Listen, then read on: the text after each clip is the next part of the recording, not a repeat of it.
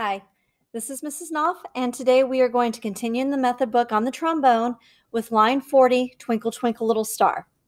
So let's start at the beginning and let's look for some patterns. As always, we start with our bass clef, and then we have our key signature. We have two flats. The first one is a B flat, tells us all Bs are flat.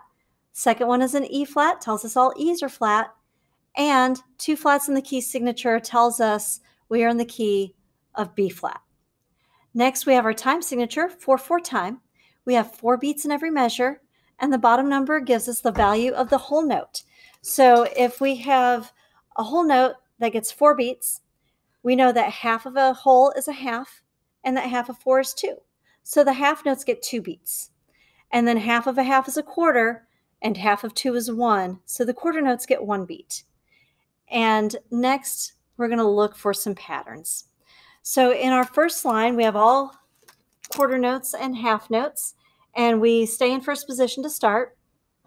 So we have two B flats, stay in first for the two Fs, then go out to G in fourth position, back to a half note F. And now we're just going to go down our scale. So we have two E flats in third, two Ds in fourth, two Cs in sixth, and a B flat in first.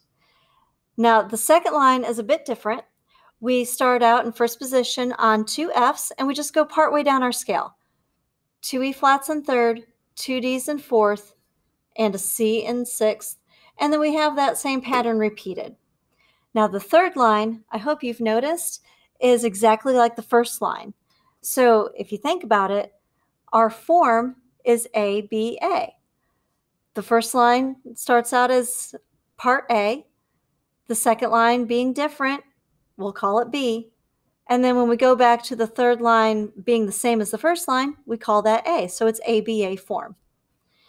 I'm going to start the metronome and I'm going to play each note starting with a T sound. And I hope you can play along. Here we go. One, two, one, two, ready.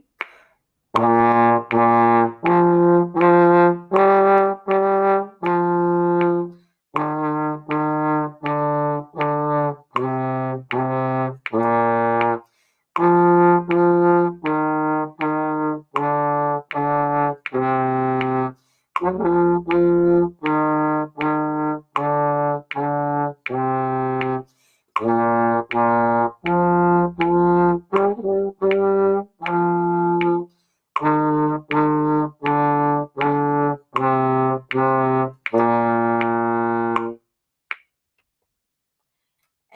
that is it for Twinkle Twinkle Little Star on the trombone.